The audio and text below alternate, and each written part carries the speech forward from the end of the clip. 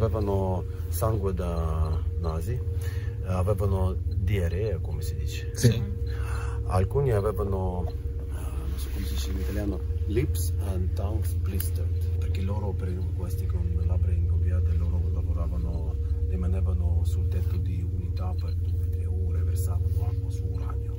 Loro in questa stanza dove non c'è ora vetro okay. l'hanno spogliato e i vestiti sono andati eh, nel basimento dove stanno fino ad ora. Potevano ancora lavarsi ma fra due giorni il suo corpo è cominciato a, come si dice in inglese flake off. Sì, ah sì, squamarsi. pezzi, pezzi. Sì, a, a sfogliare. Sì sì. Allora dopo questa doccia li hanno portato sul quarto e terzo piano qua ad aspettare per un pullman a portarli a Borispil e da dove da, da lì lo, uh, volare a Mosca perché c'era solo a Mosca okay, ospedale sì. numero 6 okay. e quelli dottori che sono arrivati a prendere a, a averli sì, erano vestiti come astronauti. E loro sapevano che tutti i 31 moriranno subito. E sono morti nell'arco di 8 settimane. E per 15 anni almeno Mosca mentiva a voi, sì. a noi, che questi sono unici vittime di Germania. La non è uh, una palottola, l'ho detto, sì? Certo. Prende un po' di tempo, a volte decadi, ma cosa ne so. Quello ultimo che ho sentito c'è metà di um, bio, bio, robot. Uh, sono morti quelli che avevano detto. E di, uh, metà sono morti? Liquidatori fra 50 e 110. Ah. Erano solo pompieri? No, no, no, no, no. erano pompieri, dottore, due donne vecchie, che, anziane, che aprivano i cancelli, guardiani, okay. uh, okay. dosimetristi. Sono stati seppelliti eh, sul cimitero speciale a Mosca, di nota, senza vedove accompagnarli coperti con spessi sì per non contaminare l'area pulita sì. del capitale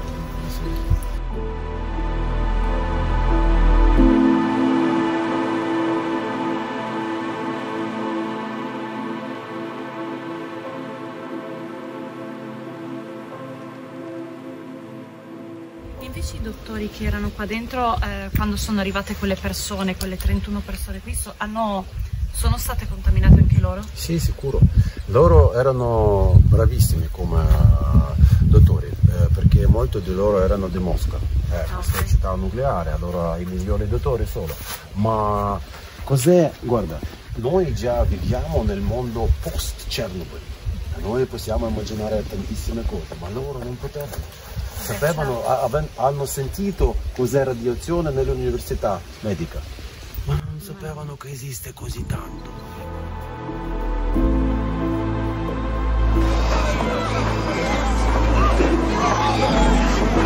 Michael! Ludmilla! Prendila! Portala via da qui, ti prego! Si allontani da loro! Oh mio Dio! Vuole ammalarsi! Se ne ti va! Prego, prendila! Ti prego, prendila! Ti prego! Prendila! Ti prego! Ti prego! Ti prego, prendila!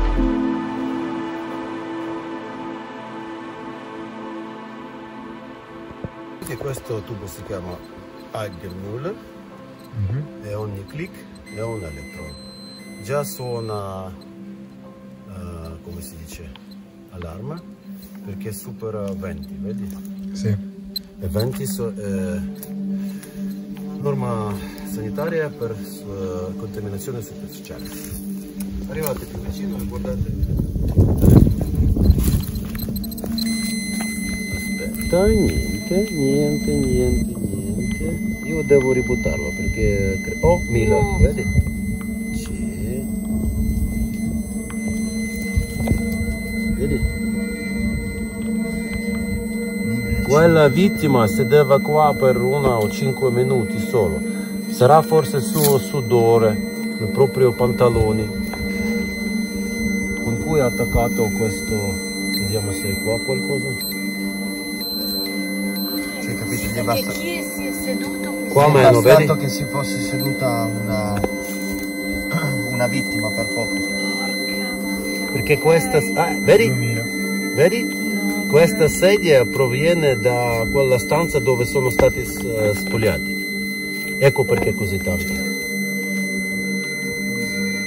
bastato che ci fosse sopra Sì. lasciare la... Potete immaginare il loro polmone.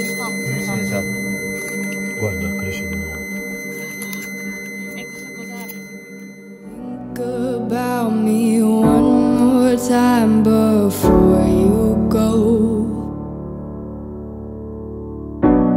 Someday you'll know. Someday you'll know. You know what I'm going to say. I've been feeling this way for far too long.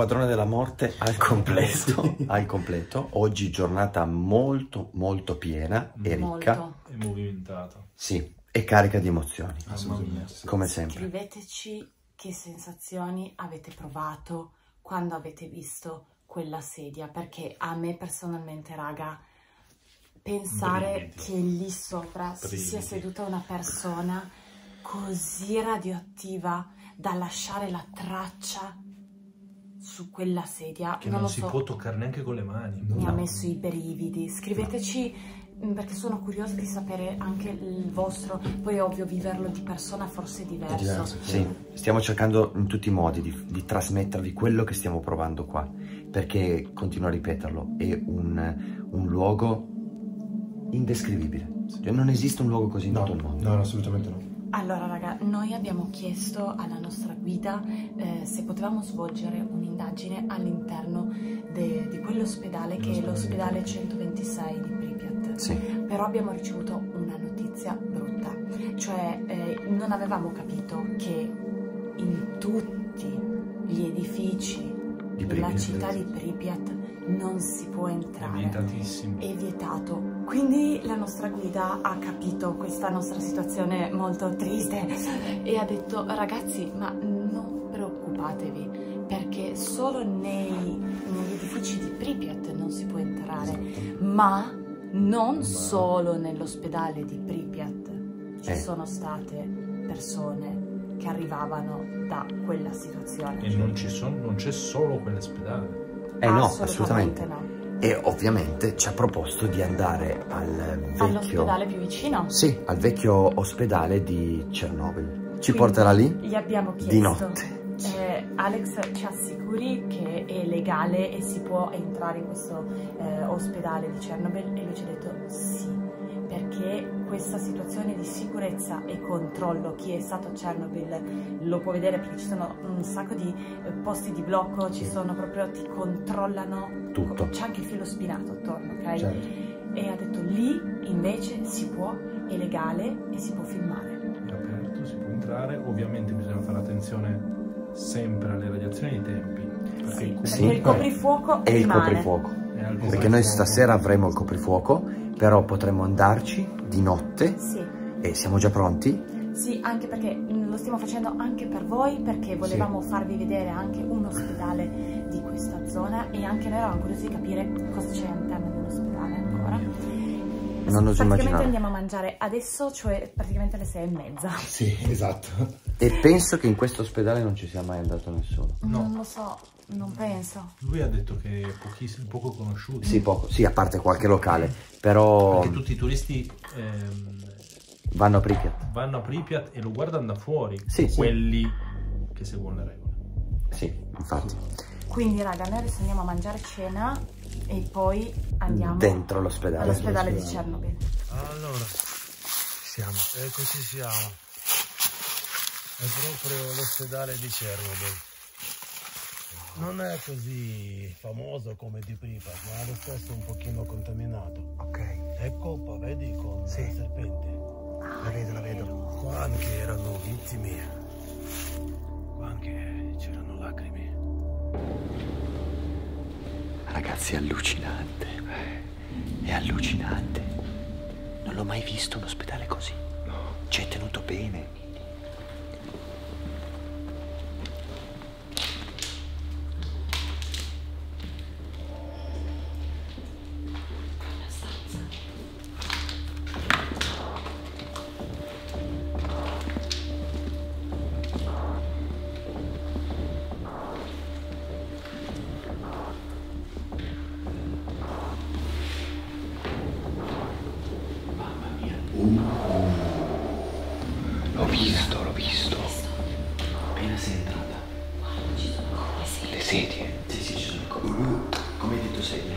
a Pilato.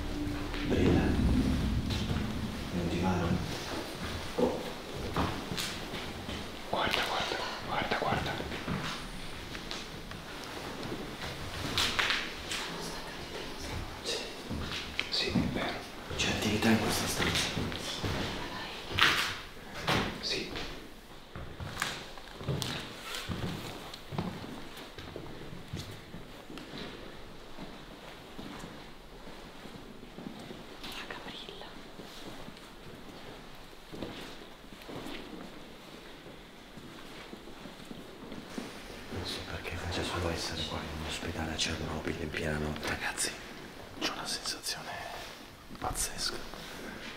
Pazzesca. Io non so se essere caldo o se girare. Io, io lo so. E non voglio saperlo, Jack, non voglio saperlo.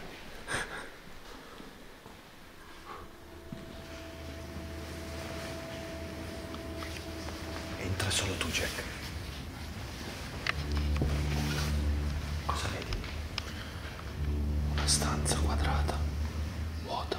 Ok. Pareti divise a metà, colore scuro per la metà bassa, colore chiaro per la metà alta. Non, non potete mica immaginare la sensazione che stiamo provando, perché sono veramente forti. Cioè, l'adrenalina è altissima. Questo era l'ingresso. Sì, sì, ingresso. Cosa c'è? Cos'era?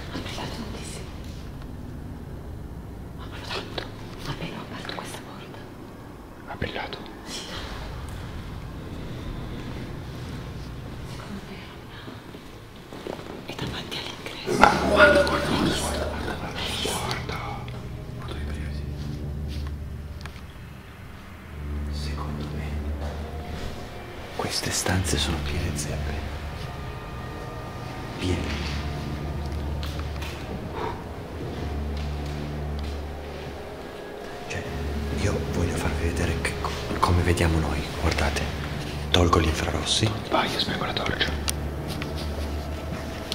questo è. Ecco questo è esattamente come vedo. Esatto. Io sono riattivo gli infrarossi